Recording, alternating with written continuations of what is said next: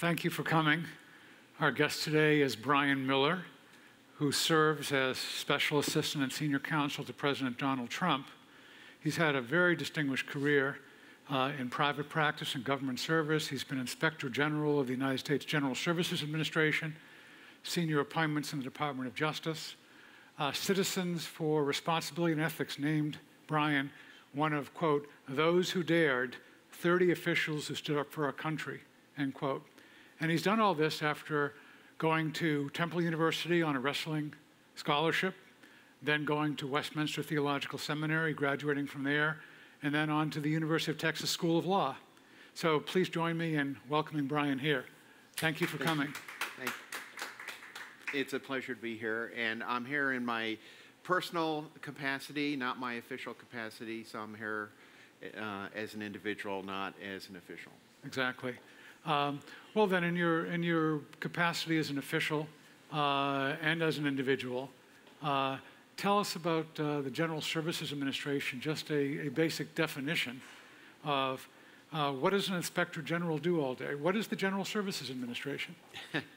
well, uh, very good questions, Marvin. Um, the uh, General Services Administration is an age, federal agency. It's probably one of the largest federal agencies that you've never heard of uh, because it works behind the scene. It uh, handles federal property. It's the federal landlord.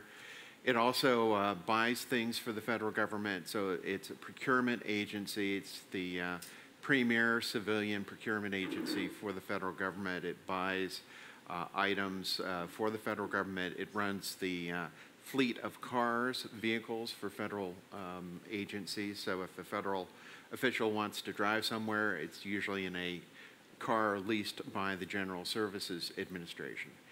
An inspector general is uh, uh, someone who uh, is charged with rooting out fraud, waste, and abuse in federal programs and charged to make these programs more efficient, effective, and um, um, and um, uh, effective um, throughout the agency that it's uh, an inspector general is in.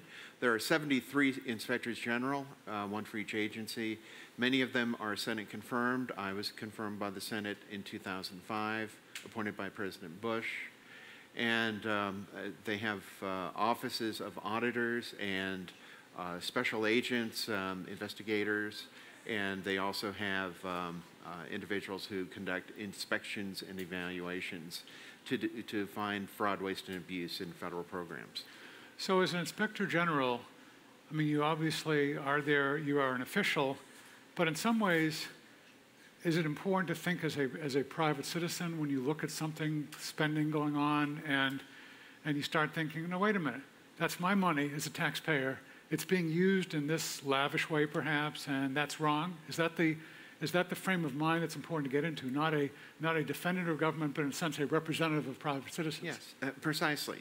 Um, in fact, if other officials get tired of hearing inspectors general talk about taxpayer dollars, because inspectors general are always looking at how are these taxpayer dollars, these um, the money that belongs to citizens, being used by the federal government?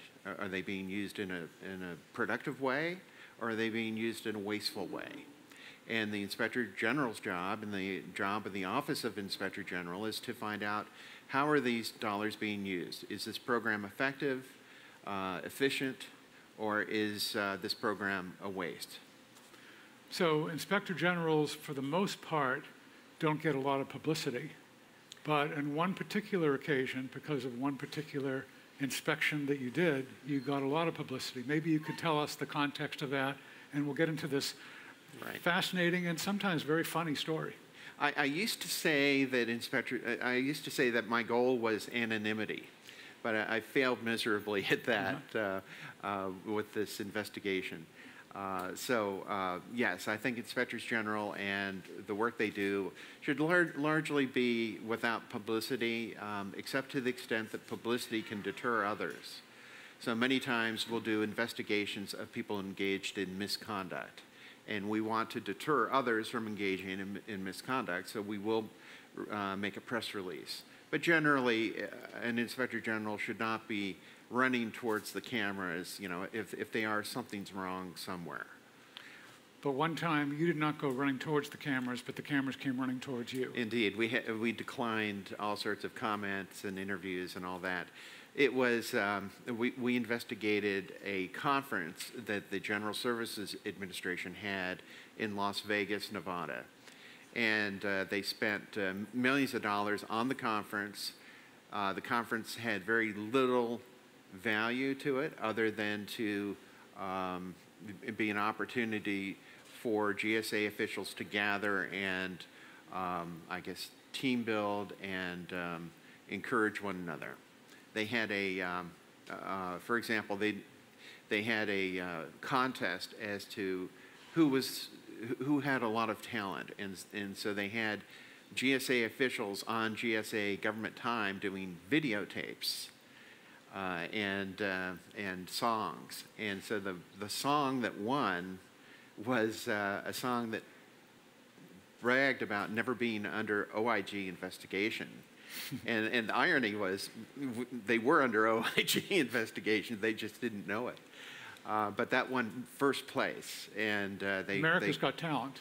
Yes, America's Got Talent. They won first place, and then they kidded about, uh, uh, you know, um, not being subject to uh, the the uh, pay caps and the the bonus caps uh, and all sorts of things. And it was um, a very interesting time. But overall, the conference, uh, you know, to give you an ex- example of how wasteful it was, uh, they had eight visits out to Las Vegas to determine which hotel to have the conference at. Eight visits. Eight visits. So they, they stayed at every, you know, big resort in Las Vegas on separate occasions uh, to determine whether this hotel had the best rooms, to determine, you know, um, what the food was like, and that sort of thing. And they finally uh, decided on a certain uh, resort. I won't say the name because, you know, they were just in business. And, and they spent millions of dollars on the hotel. They um, also, uh, during the conference, they would have parties at night. They, they managed to get uh, two, two-story loft suites to stay in, and they kept one of the two-story loft suites as a party room and they would have uh, parties in that room, and you could come by invitation only. And they ordered room service at room service prices um, to feed the guests, all at taxpayer expense. One of the dinners was over $100 each. Um, very lavish. Uh, they had uh, a mind reader perform and um, clowns and various other things. And so we investigated that and the organizers of that conference, and that um, uh, captured the imagination of the media and the Congress. I testified six times in two weeks about the conference. So as I look at the records of this, there were, this was four days, there were 300 government employees there. Yes. So according to the uh, official amount of meal and incidental expenses that were possible, the maximum they should have spent if they were, um, you know, enjoying things but not in a, in a hugely lavish way, the maximum of 300 employees would be about $21,000. And their actual food total was $146,000 Just for the food. just for the food, just for the food. Um, there was uh, $7,000 in sushi. There was a $19 per person American artisan, artisan cheese display. How, do you, how do you spend that much on a cheese display? What, I don't know. So, but you, you looked into all this. $3,200 on the session with a mind reader. Yes, So they had minds to waste. indeed. So, Indeed. okay. And then um uh, $400 for rented tuxedos. Uh, Yes, 1,000 and when, they had the award ceremony, Uh-huh. they rented tuxedos for the people giving the awards and receiving the and, the, awards. and the recipients. Um, so I, I'm kind of disappointed, Marvin. I, I don't have a tuxedo here. You know, this is just a small operation. Um, $75,000 for the team building exercise, which was building bicycles. That was one of them. They had Ah. an, another one where they blew bubbles through tubes. Okay. Yes. The goal of the blowing bubbles through tubes was Team building. team building. Okay. Um, I, I'd like to say that my team building was writing the report and doing the investigation. huh, side, side by side, working on computers. it was a good way. But, but now, now send, send in the clowns. What were the clowns for? The clown was uh, part of a training video, and I guess it was to um, make the training video a little more interesting. Okay. But the thing about the clowns was in our final report, we like to make the report very factual and objective without bias. And so my rule of thumb was anything that went into a report would have to be um, probative. It would have to be have evidentiary value. And so my rule of thumb is it has to have more probative value than prejudicial value. And I thought that the photo of the clown was more prejudicial than probative. And we had many discussions, and I think my staff was uh, disappointed that I took the clown out of the final report. Uh, so the photo of the clown didn't make it into the final report because there were plenty of other more probative pieces of information to put into the report. Uh, nevertheless, um, Congress requested all sorts of information about the con- uh, conference. Uh, the White House, the Obama administration requested information, and so the you know the pictures of the clown did go to Congress, went to the White House, and they ended up in the media, uh, along with uh, pictures of the mind reader and various other um, events. And so even though you weren't looking for the cameras, the cameras came looking for you, and even Jon Stewart Yes. came looking for you. He did, and he found me. He found you. Uh, And- I, I declined to go on his show many times, but he did find me nonetheless. And there's, and there's a clip of that show that we can, we can do this? Yeah, it's a funny clip. Uh, Can we show this now? email. It, it, he says it's a birthday gift for his wife. Uh, they, they quote the song, it's, it's your party, we're going to party like your party.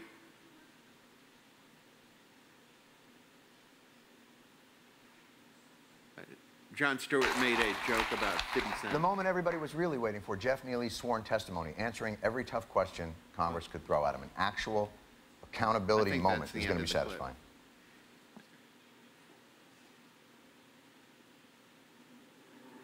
But um, so um, yeah, Jon Stewart made a joke about the rapper 50 Cent. Of course, when I was I was testifying before the House Oversight Committee, and they asked me to read an email, and the email had the lyrics of one of the rapper's songs, and so I read it in a straight deadpan, and I did not say 50 cent. I said 50 cents.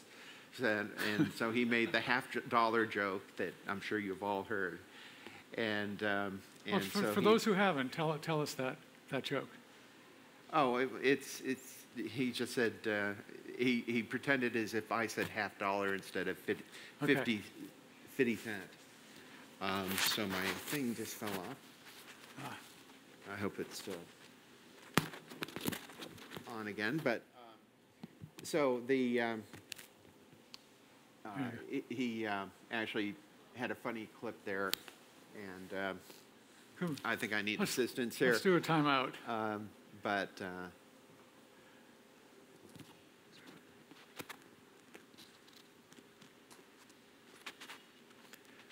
okay, masking tape always helps. Uh, so um, anyway, Jon Stewart uh, uh, had some funny jokes, and uh, you may want to watch it. It's on YouTube. Um, but um, it was an example of uh, what I ended up testifying. The person that organized the uh, conference also arranged to have a trip to Saipan where he stopped off and, and engaged in snorkeling at various places. And he took his wife, and in email, uh, on the government email account, of course, um, he talked about giving her a birthday gift. And that's where he, he quoted the rapper about the birthday song. And uh, so they stopped off and they had snorkeling, and it was all at government expense. And, um, and so uh, his excuse was to visit a federal building, um, and he was engaged in a number of other questionable practices. Uh, he eventually pled guilty, uh, uh, to, and uh, served eight months in, I believe it was eight months in uh, federal correctional institution. So let's see, Margaret Thatcher said the problem with socialism is that eventually you run out of other people's money to spend. Yes, So this is not socialism in America, but it's General Services Administration, and that's why we have inspector generals. Indeed. E- even though in, we do have the Congress that seems to continue to appropriate monies. Uh, but yes, and so we are to guard that money and make sure that it's spent wisely. So uh, for, for students or other people watching this thinking about law school, uh, you, went to you went to Temple, Yes. graduated after wrestling, and then you tried to wrestle with theological issues Yes. at Westminster Theological Seminary. And you could have at that point uh, been deciding, well, this is, the, this is the calling I have, this is where God wants me. But as it turned out, you, God wanted you, but no particular churches at that moment wanted you as far as offering a position. That's right. And you also wanted to get experience in other things, so you weren't just knowledgeable about theology, but you'd also be knowledgeable about the way that God works in the world and the rest of us sin in the world. Yes. So then you went to law school. Um, for, for students who are, who are watching this or eventually reading the transcript, uh, what advice do you have as far as discerning, especially if they're seniors and they're starting to get worried about where they're going to be? Uh, what advice do you have about discerning what their calling may be? Well, I, you know, calling is always a difficult thing. I, I think that you uh, should decide what what you are interested in and pursue that. I think that calling is not uh, a matter of God divinely laying out a uh, plan. Um, can you still hear me? With, Okay. And um, and so it's a difficult thing. I think you do your best at what you have in front of you. And you know, you can make plans, but make them wisely. Be willing to change your plans. Um, you know, I changed. I went to law school, um, and uh, you know, wait for uh, to see what doors God God opens up, and to, don't be afraid to go through them, and don't be afraid to um, uh, change your mind or to change directions. And you've gone back and forth between uh, private legal work and Yes. government service. So same same thing there. You don't have to decide at a certain point. Well, the rest of my life I'm going to do this. You can you can go back and forth as yes. you've done. Yes, indeed. And uh, I think uh, you used to tell me I had a bright future behind me. so, uh, but uh, no, I've been very fortunate to do a lot of different things in my government career. Well, yeah. One of these different things. In 2006, you were vice chair of the National Procurement Fraud Task Force, task force of the Department of Justice. Uh, what did you do in that position? Well, that, that was a task force of uh, Department of Justice uh, attorneys and inspectors general. And we looked at ways to uh, coordinate our efforts to go after fraud, waste, and abuse, to actually prosecute those who defraud the government, to develop cases against uh, individuals and companies that are taking advantage of government programs. And there was a lot of uh, coordination that needed to be done. Uh, one office may be investigating in a company and it didn't know that another office in the federal government was also investigating the company. Um, a suspension and debarment official may be looking at that company, and an inspector general may be looking at that company for the same misconduct. And so, a large part of that was uh, deconfliction. Uh, it was uh, coordination. Uh, they, we also put together some legislative proposals to improve the way that law enforcement goes after fraud, waste, and abuse. And uh, you played a role in amending a particular regulation that uh, would require contractors to discuss overpayments and crimes. So again, this, this did not get any publicity as far as I, as far No. as I know, but, but it seems important. I mean, so tell us about how that, how that worked out. Well, I mean, that the, what we developed as, as part of the task force was uh, that we would, you know, require contractors when they knew of a crime and they knew of fraud and they had an actual overpayment, that they had to tell us, that they couldn't just hold on to it.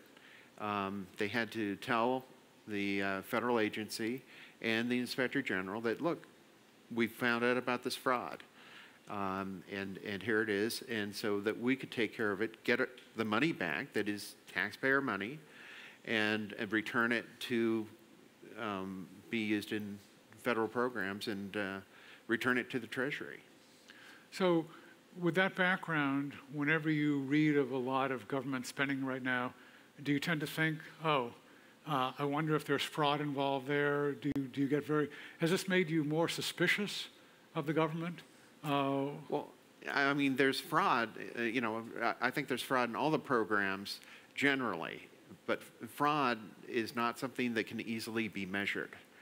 Um, you know, I, a lot of people like to say there's 20% fraud in uh, healthcare and Medicare and Medicaid, but that's a guess. That by its very nature, fraud is hidden. Uh, they don't. Uh, people who engaged in fraud don't want to be found out. So there's probably fraud that we'll never find out about. There's fraud that we do find out about, but it's hard to measure what percentage of fraud is in any particular program. I think that what is necessary is to have people looking for that fraud, uh, to root out that fraud, and to catch the people that are engaged in, the fraud, perhaps deter others from beginning to defraud the government. so, how, how swampy is the swamp, in other words? It's- swampy. Um, you know, I think overall, in terms of uh, the big picture, uh, the administrative state is growing, and uh, you know, it tends to steamroll uh, enumerated powers and separation of powers. Uh, but I think in the, in terms of the inspector general world, in terms of law enforcement generally, um, you know, it's it is an important task to determine whether crimes have been committed, whether fraud has been committed against the government. Um, and to work in that area is uh, an honorable profession. Um, and, uh, you know, you can avoid the swamp, but you just have to be aware and don't get sucked into any sort of political agenda and to stay away from political agendas, stay away from overreaches, uh, and that sort of thing. And that requires a lot of judgment. And I think, in terms of inspectors general, I think that you need people who have judgment more than anything else um, to perform that role well.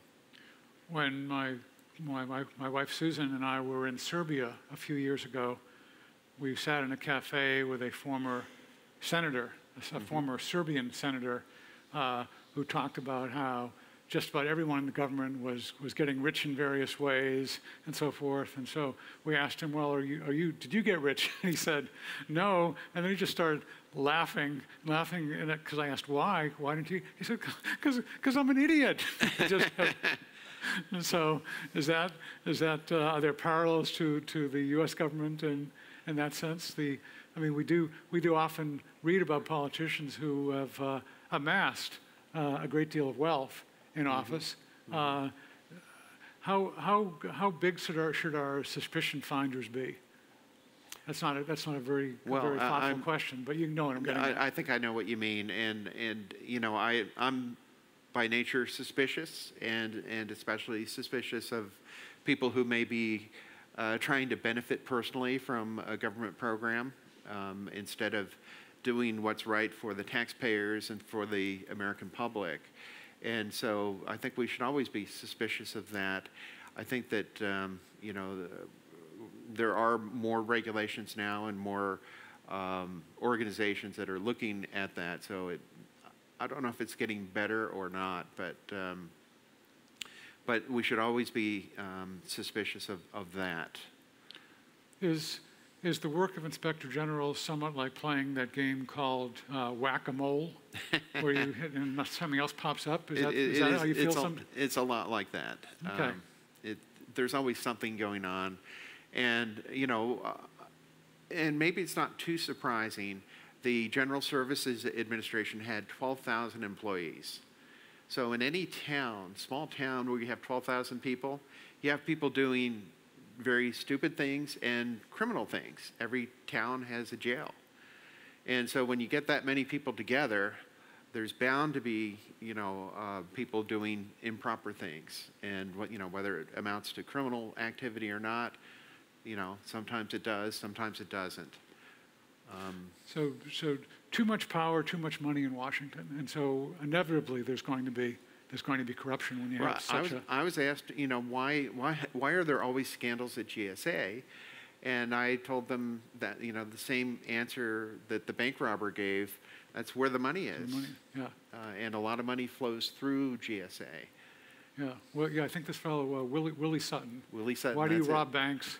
That's where the money is. Precisely. So, uh, you know, there's a saying about, uh, um, you know, happy is the land that has heroes. And, and you received an award or at least recognition as for heroic action. I suppose that, I mean, that's true. Happy is the land that has heroes, but happier is the land that needs no heroes. Indeed. But Indeed. here we are. Um, then talking about, about heroic activity and stopping not just, not just theft, but, uh, but very serious crime and terrorist crime, uh, you're known for your contributions in some terrorism prosecutions. Could, I- could you tell us about, about a couple of those? I was fortunate to uh, be able to work on some terrorism prosecutions. I worked on the Moussaoui case and uh, was involved in uh, um, aspects of that. I had to leave early to take my position as Inspector General, so I withdrew from that. Uh, but I was fortunate to work on a number of issues uh, involving the Moussaoui case, mainly on sealing information and unsealing information. Uh, there was uh, the New York Times wanted to have the tapes of the last words of the firemen in the building. Uh, all those communications on the radio were, were taped, so there were tapes and transcripts. And so they intervened in the Eastern Dis- District of Virginia to get those, and I handled that matter for them, as well as um, a matter in the Fourth Circuit. So your goal there was, was not to let those tapes be Well, broadcast? the, the, Or- prob- the problem was um, uh, to, we don't want to create an atmosphere where there can be an unfair trial. We want to preserve the fair trial rights of the government and also of the defendant. And if there's a lot of publicity out there, if there's certain pieces of information that will be used at trial, and it's uh, being discussed publicly, it, it tends to uh, impinge upon the fair trial rights of both parties. Uh, and so there was also a congressional uh, request for some of that information as well that, uh, that I argued and um, to preserve. And, uh, and so we were concerned that, um, that fair trial rights might be waived if uh, that information became public, that we wanted to use at trial. Did you win?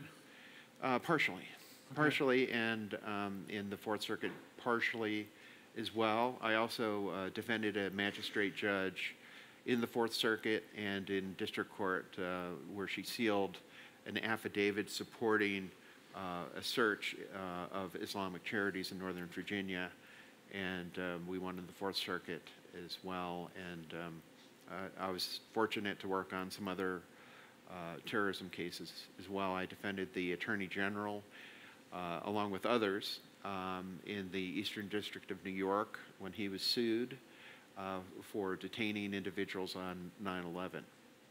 And so that all worked out well for the Attorney General. Uh, yeah, tell, tell us more about that case as far as detaining those individuals. What was involved there? Well, a- a- as you recall, a number of individuals were detained immediately and uh, held for a while, and they brought suit against the government and against the Attorney General, General the Deputy Attorney General, uh, and a number of other DOJ officials. The Department of Justice will represent the Attorney General in his official capacity. He was also sued in his individual personal capacity, and they authorized him to retain outside counsel. He chose uh, to have some assistant U.S. attorneys represent him, and I was one of those assistant U.S. attorneys. So we would uh, go up to the uh, Eastern District of New York. Our home district was the Eastern District of Virginia here in Alexandria. But we would on occasion go up and make, argue motions up in the uh, Eastern District of New York. And we eventually got the case dismissed against the Attorney General. There were actually a number of those cases. And again, I ended up withdrawing to go to Senate confirmation as Inspector General. Um, You were special counsel on healthcare fraud for the Deputy Attorney General. Uh, Tell us about that. Well, um, as, uh, as an assistant U.S. attorney, I did a lot of fraud cases and looked at healthcare fraud and brought a number of healthcare fraud cases against um, uh, companies that were defrauding Medicare, Medicaid. And as the special counsel on healthcare fraud for the Deputy Attorney General, I coordinated the efforts of the Department of Justice in uh, looking at healthcare fraud. So we had the FBI, we had the um, uh, Civil Division, Criminal Division, uh, and we worked closely with HHS to develop a strategy for um, finding healthcare fraud so that we could prosecute it. Uh, and so the, a number of cases that came out of my time as special counsel on healthcare fraud. One was a, a case against uh, TAP Pharmaceuticals where they were giving kickbacks if doctors were, if they would prescribe a certain um, um, prescription, they would get kickback from the drug company, for example. And that was fairly early on. So a number of cases developed after that. And there was uh, a, a number of other cases, but uh, I, I can tell you the names of the companies, but um, it just dawned on me the companies probably don't want their names out there uh, that we've uh, reached settlements with and um, uh, had uh, successful healthcare prosecutions. Well, uh, for those of us just paying attention to the news now, uh, there are stories that keep coming up about healthcare fraud. Uh, in what ways, from your experience, in what ways could we minimize healthcare fraud? Or again, is it, is it whack-a-mole where it's always going to be come popping up? How do you, how with with so many billions of dollars sloshing around, Right. how do you reduce the amount of fraud? Well, I mean, tha- that's a very difficult question. Um, I think there's a lot involved in that. Uh, there's always the incentive to maximize your uh, reimbursement from the federal government. If you're a healthcare provider, you want to get paid for the work that you actually did. Uh, we want to make sure that you don't get paid more than what you actually did. And so uh, there's a lot of judgment calls in, in the billing.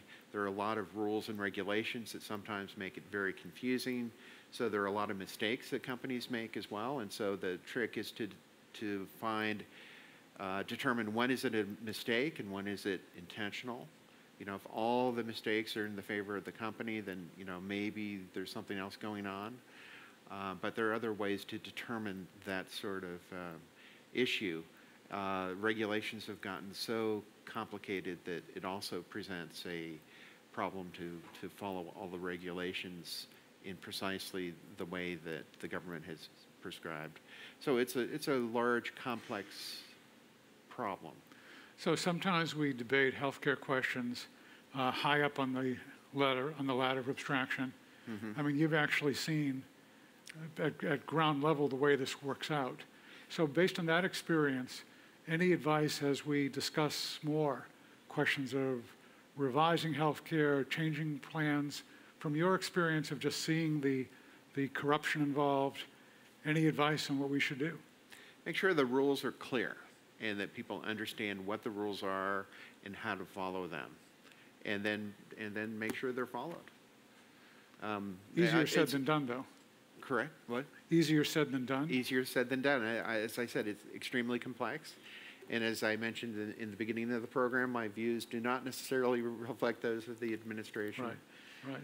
Or, But- uh, Yeah, the, um, I mean, Congress originally passed Obamacare apparently without reading the bill. Why did you have to read it? Uh, Does anyone really know how this all works, or is it, is it mysteries wrapped in enigmas?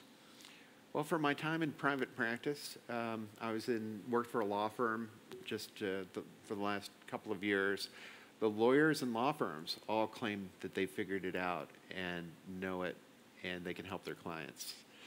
But I, I say that facetiously, Right. um, but um, it's difficult. I was going to say, I find that hard to believe, but It, yeah, no, it's um, uh, a very difficult problem. um, was looking at um, other aspects of your background uh, that uh, Uh, At one point, a local U.S. Attorney's Office was disqualified concerning a major Oh, right. drug case. Yes. And, and you salvaged it, as far as I understand. Can you tell us that story? Yes. Um, uh, things go wrong in all aspects of government, including law enforcement. So um, they uh, convicted one of the biggest uh, drug dealers in West Virginia, and they got the conviction. It was a big victory. And then it turns out that later on, uh, they find out that the um, lead detective, it was a task force that involved uh, local detectives and DEA agents. Um, so it was a mix of federal and local uh, drug enforcement uh, officials. It turns out that the, lead detective was having a sexual relationship with the wife of the drug kingpin that was convicted. And there were a number of irregularities. Um, the, um, um, the wife had not passed a polygraph, and somehow the results got lost. The- Some, somehow. Somehow, yes. And, um, and so the assistant U.S. attorney handling it did not know that she had failed the polygraph, and she reached a very favorable uh, resolution of her potential liability, a very nice plea deal.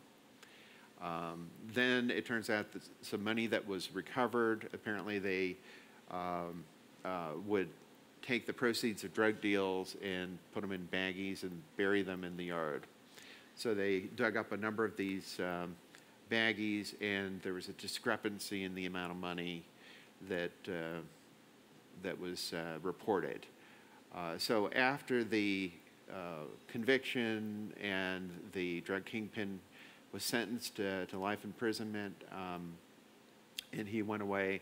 The uh, lead detective and the wife broke up, and she brought all this to the judge and said that she had received some of that drug money uh, and and that sort of thing. And so the judge um, wanted to know whether he should set aside the entire conviction and and the case and disqualified the local U.S. Attorney's Office because they would be witnesses, potential witnesses in the case. And so the Department of Justice asked me to go down and to lead a team of assistant U.S. attorneys from the Eastern District of Virginia to uh, see if we could salvage the conviction of the uh, uh, drug dealer. And uh, so we did. We impaneled a grand jury. We um, uh, heard testimony. We um, talked to individuals. And it turns out that a number of the individuals that were now coming forward had um, their affidavits drafted from the drug kingpin in a federal correctional institution. And so we were able to add. Drafted from? Yeah, he, he drafted it for them and they signed Okay. it and submitted it. And so uh, we were able to add some charges like perjury and um, subordinating per- perjury. And uh, some other individuals we were able, we charged and they pled guilty to obstructing justice and that sort of thing. But uh, so we, we were able to, to save the convictions and to um, actually add some, but we were ready to kind of retry the case. We had brought witnesses in from other places that were suppliers and that sort of thing. Um, and fortunately, we didn't have to do the full-length trial. So he drafted their testimony. I mean, does, Yeah, does he, he, he, he, he said, submit this to the judge, uh, you know, say the following, say that, uh, you know, the detective did this and, and that because he had- was having an affair and, so he knew the legal system. oh yeah, oh yeah, he was, He was pretty sharp. he was pretty sharp. Okay. And, um, but um, anyway, we were able to uh, preserve the conviction uh, for the Department of Justice. He didn't get offered fellowships to law school based on Now, that. So, okay. So some of these things, things seem like they should be the, uh, the basis for novels. they could be. There are a lot of things in that case that you just can't make up. So have, have, Um, have novelists come and anyone come to interview you and get plots? I'm not, I'm not, not yet. Not yet. Maybe yet. I'll, maybe I'll retire and write books. So, um, I'll call them fiction. Now, Just one, one other question on this, and then I want to get to a, a little bit of theology about this. But uh, inspector generals are part of the executive branch of government, Correct. right? but there's something in Congress, things bubbling in Congress now to, uh, uh, um, Heidi Heitkamp in North Dakota has, has, has a restructuring idea to move the 73 federal inspectors generals out from under their agencies and into an independent agency that would make it, an ex- that would become an extension of Congress? Is that, you, what, She- what's she- going on there? She floated that idea. Uh, she's not in the Senate anymore. Right. um, But uh, she did float that idea, and I addressed it in an, an op-ed that I wrote for the, the Hill magazine, um, where I thought that inspectors general were in danger of uh, being used by the Congress, including the Senate, and that bill would actually make that explicit. And inspectors general have to have a degree of independence to do their work. Uh, you can't, um, you, have to be independent to evaluate someone fairly, eva- evaluate conduct fairly. And it's, if you're reporting to the Congress in that fashion, uh, your independence is jeopardized and you're coming in biased. You're looking at whatever the political agenda is for the, the Congress or the Senate and being used basically as a tool for them. And uh, my editorial basically was saying it's a real danger f- for inspectors general. They need to be independent of Congress. They can't just accept a request by Congress uh, because many of these requests are politically motivated and not motivated by what is the inspector's general jo- job, and that is to root out fraud, waste, and abuse. So the inspector general has to have an independent basis to conduct an investigation or an audit, audit not just the fact that, that a senator or a committee made a request. So what's the ideal background for an inspector general? Seem, it seems very different than a lot of other government positions where there's a desire and sometimes, sometimes for cover-ups. This is uncovering. Uh, who, who becomes an inspector general? I mean, besides, besides you, how, do- what's the back, is it, the, typically the background is, is law school? Well, uh, there are many different backgrounds. Uh, by statute, it, it does require that they have a certain background, and it lists the number of professions um, accounting, financial, um, uh, law, uh, law enforcement. Journalism? Not journalism, sorry. All right. Uh, but uh, although you are trying to uncover things at, at times, although we can talk about the state of journalism in another Right. segment. Um, but uh, generally, uh, inspectors general have been auditors and uh, law enforcement. More recently, they've been um, assist- assistant U.S. attorneys and lawyers. Okay. So you're probably unusual among the uh, inspector generals of the past 20 years in, in having, I'm, A I'm very told s- I'm very unusual. in, in having, well, I was going to say in being a wrestler uh, to wrestle with these problems, but actually I was going to go in terms of theology. Um, I mean, with your seminary background, uh, are there other inspector generals who have a seminary background? Not that I know of, but you'd be surprised who does have a seminary background. Uh, um, some of the chief compliance officers for major corporations have gone to seminary, um, and their role is somewhat similar to an inspector general. Uh, but um, but no, I don't know of anyone quite that has my background.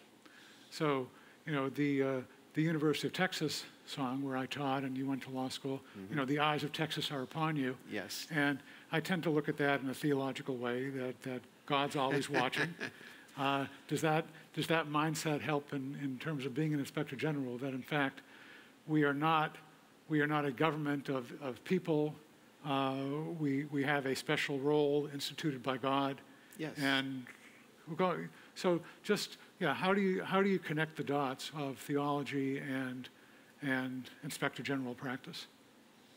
Well, you know, it's obviously um, that can be the subject of a, a whole another segment, but um, you know, at, at the most basic level, we serve the Lord, and we want to follow the law. We want to follow what He, he um, prescribes. Um, so we're generally against lying, cheating, and stealing. Um, it's not biblical. It's uh, you know um, displeases the Lord. And so we, we do want to please him in everything that we do. And so Um, so I think that is a good background. People have to be of good character to uh, uh, be an inspector general, to work in an office of inspector general, inspectors general. Uh, that um, you know they have to want to follow the law. I think that mindset helps to you know look at whether or not um, an organization or an individual is actually following the law as it's written. Um, and so I think all that helps. So um, I'm not sure if that answers your question. Well, yeah, uh, I'm, I'm curious about the, the, those connections. I'm also curious about, um, you know, for, for students now, uh, uh, people coming out of college, um, you know, you now have a perspective of uh, uh, 40 years of different types of, of activity, employment activity. Uh, you, you, you uh, have seen a lot, done a lot. Uh, any, any recommendations for young people when you look back at, at your career? And again, you're, you're not yet at the, at the promised land of Medicare and so forth, but not all that far away. Uh, you look back at your career, are there things that you wish you had known, say 40 years ago, that you now know? Are there things you would want to pass on to someone who is just coming out of college or in law school? Any, any wisdom or near wisdom to, to, to suggest? And then we're going to go to questions.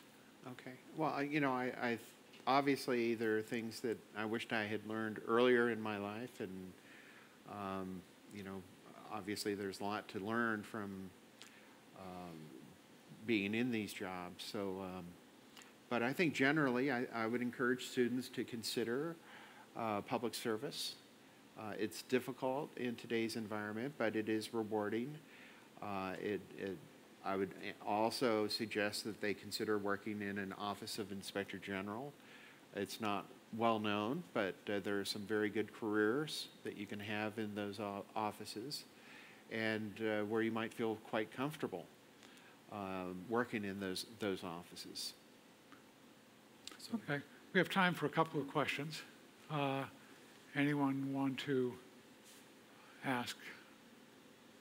See, microphone over here.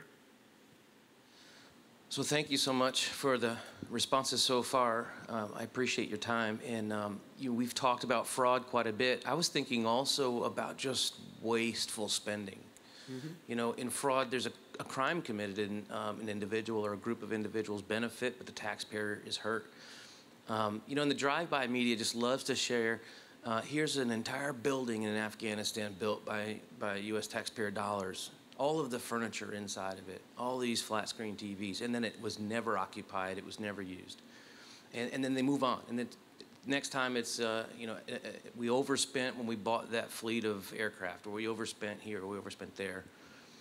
Maybe it's not inspectors general, but what office is is there a watchdog? Is somebody watching just bad decisions about um, misuse of taxpayer dollars, where the taxpayer, you know, would would want to advocate? Well, I, I think that is what inspectors generals should do. They should look for, for waste as well as fraud and abuse. And, uh, you know, um determining waste can be a little more difficult and a little more costly in terms of resources. You don't quite get the return, the statistics, uh, because you don't get a conviction or result if you find waste, other than to put the money to better use. Um, and so, in many ways, waste um, doesn't get the attention that it should, but it is very important, and um, and it's it's um, it should be looked at. Of course, one person's waste could be another person's great program, and and sometimes it's hard to know whether or not uh, this particular use of taxpayer dollars is a waste, and sometimes it involves policy questions, and um, inspectors general are not policy makers. You know, if the policy is in place, they look to see if the policy is being followed. If the result is lots of money being wasted, then an inspector general can point that out. But it's really not the inspector general's job to uh, determine that policy. So um, I, I've been asked when I've testified uh, by one, one chairman, um, she kept asking me about a program and saying, does this make sense to you? And I kept saying, well, this is the policy that you established, the Congress established. Uh, I'm not here to opine on whether it's a good policy or bad policy. That's your job. And so she kept going back and forth. But, you know, on, on, on that one, she didn't have the votes to change the policy. And so she wanted to, I guess, complain about the policy. But I kept reminding her that uh, I, I wasn't a policymaker. But in terms of most waste, as you point out, most waste is obvious and it doesn't involve these delicate policy decisions and they, sh- it should be pointed out. So we have time for one more question? Yes. Um, Maybe briefly, you could just explain the difference between a political job in the government and a civil service job, and the advantages and disadvantages of both. Yes. Um, A political appointee is appointed by the president and serves at the pleasure of the president. Uh, An inspector general is a political appointee appointed by the president, confirmed by the Senate. And inspectors general serve at the pleasure of the president, so they don't change when administrations change. Um, They can be removed by the president, but the president has to state the reasons 30 days ahead of time in writing to both houses of Congress. So they don't tend to be changed. Um, In other positions throughout the government, you have political appointees that do change when the administration changes. And, uh, and so there are political appoint, appointments that last only that long. They can be shorter. Um, the president can fire a political appointee for almost any reason. Uh, there was a big, um, you may have heard of the U.S. attorneys firings some time ago. Uh, they were all political appointees. They could all be fired for any reason. Uh, career employees of the federal government are part of the civil service essentially, and they have protections.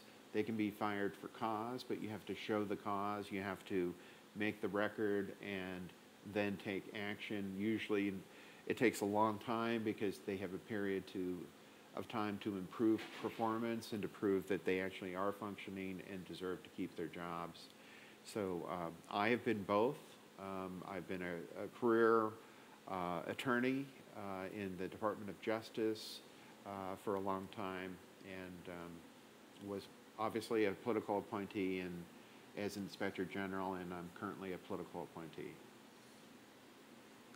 Okay, well, thank you very much for coming. Please join me in in thanking Brian Miller. Thank you.